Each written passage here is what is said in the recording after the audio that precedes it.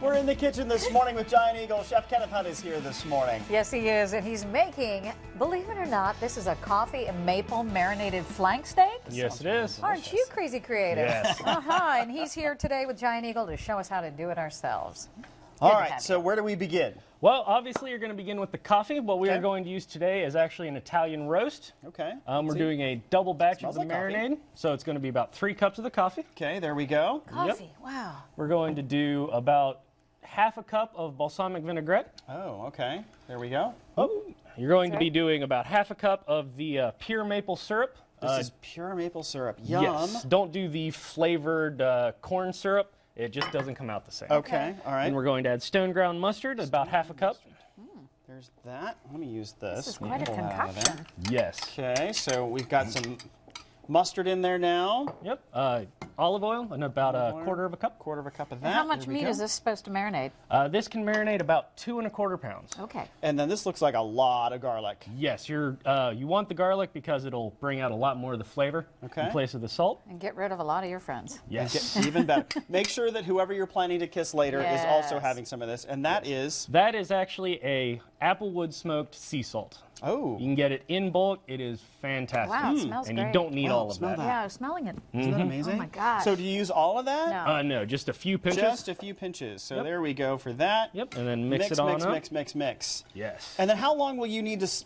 Because you're going to put the the steak in here. Yes, we're going to be putting that steak. That's about two and a quarter pounds of uh, flank steak. Uh-huh. Um, it should sit for about eight hours. Oh wow. Um, Okay. the- Just put that in the fridge and leave it. Yes, exactly. Uh, there is actually a really nice thing about flank steak is you can do it a whole bunch of different ways.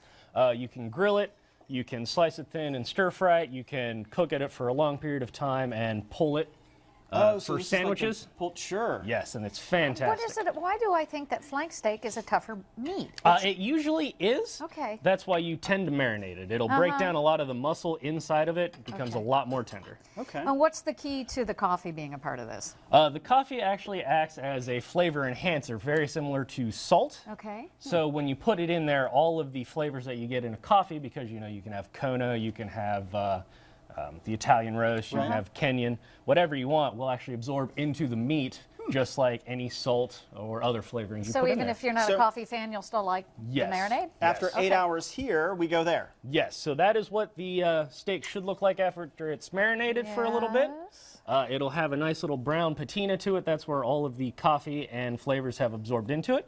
So if you want, you can Yes. put that on the pan. What on the pan? The steak.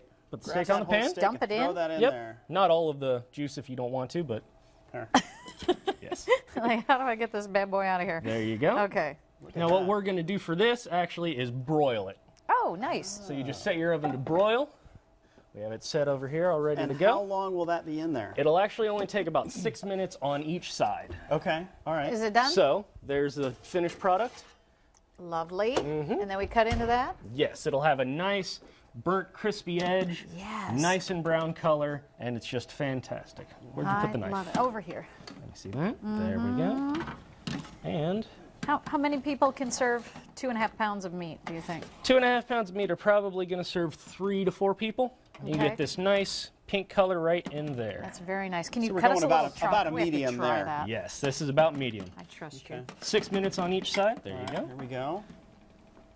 Get a nice medium well done, or medium well steak. Oh, that's nice. Mm-hmm. You do. You get some of the garlic coming through that.